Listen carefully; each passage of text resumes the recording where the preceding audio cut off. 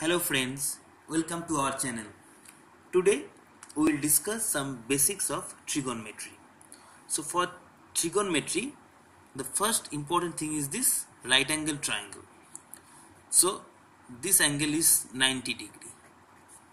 Now let's assume this angle is theta and the sides are A, B, C. A, B, B, C, C, A.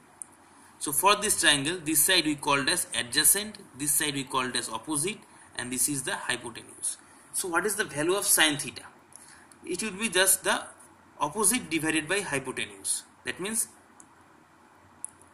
BC divided by AC. So if you know the values of hypotenuse and uh, opposite, you can easily find the value of sine theta. What would be the cos theta? Cos theta would be adjacent by hypotenuse that means AB divided by AC and tan theta would be opposite by adjacent that means BC divided by adjacent that is AB. So if you know the values of this uh, adjacent opposite and hypotenuse of a triangle you can easily calculate the sine theta cos theta and tan theta. So this is the these are the main three. Now let's move on to cosec theta sec theta and cot theta. Now what is cosec theta, sec theta and cot theta?